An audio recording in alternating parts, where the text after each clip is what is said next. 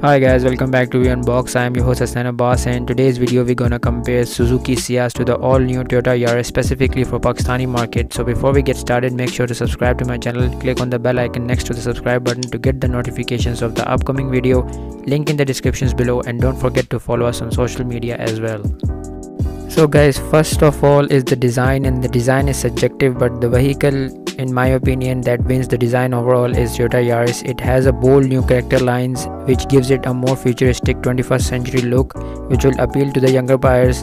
In the top of the line ATIV X model you do get DRL LED lights at the lower fascia of the bumper as well as fog lights but halogen headlights and LED combination real tail lamps. In comparison, Suzuki Ciaz has a more conservative approach when it comes to design language. Although this vehicle has been on sale in Pakistan for over 5 years now, this vehicle is in dire need of a refresh or redesign. It blends in well with the other family sedans and will usually appeal to more mature audiences or consumers when it comes to design language. The only advantage of Suzuki Ciaz over Toyota Yaris is that it has standard projector headlights at the front.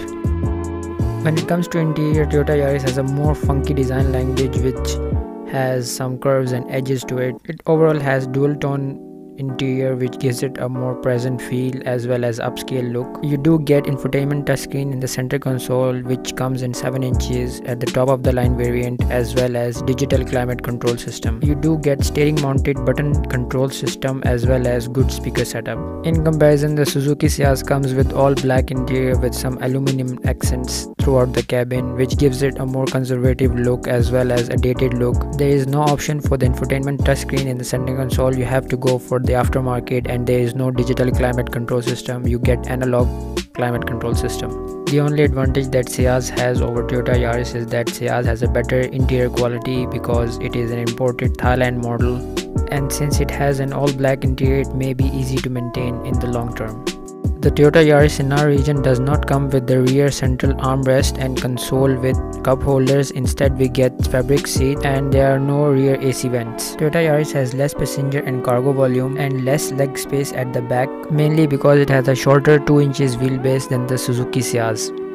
In comparison, Suzuki Ciaz gets central armrest at the back with cup holders and rear AC vents. Its passenger and cargo volume is comparable of that of Toyota Corolla and Honda Civic, but since it has a smaller displacement of engine, it is comparable to Honda City and Toyota Yaris and comes between the space left by Toyota Yaris and Toyota Corolla. Its boot space is comparable to that of Honda Civic.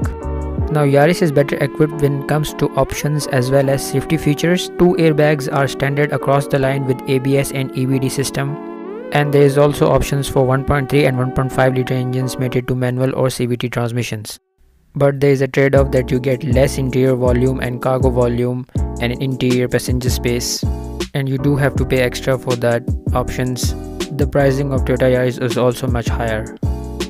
In comparison, Suzuki Ciaz is a bigger car with better interior volume and cargo volume and passenger space. When it comes to option, it has two airbags as standard as well as ABS system, but there is no EBD or traction control. You do get better tires with Bridgestone imported tire setup but there is a trade-off that it has less options and the conservative look of the exterior and interior may be a letdown. It also is a lot cheaper than Toyota Yaris. If we compare the 1.3 Yaris to the 1.4 liter of Suzuki Ciaz, the 1.3 setup in the Yaris will be more efficient but it will be producing less horsepower and less torque and will be more draggy when estimated to CVT transmission.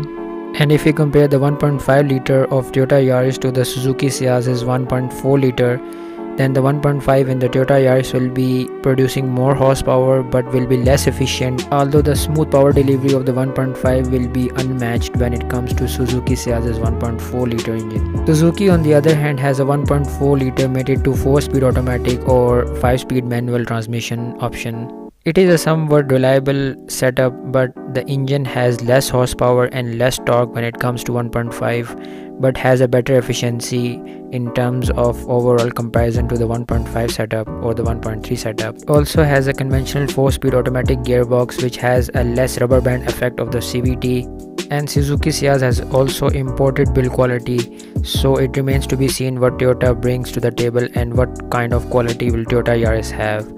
So guys i hope you like this comparison don't forget to subscribe to my channel like comment and share with your friends and family. Until next time guys this is your host Abbas signing out. Take care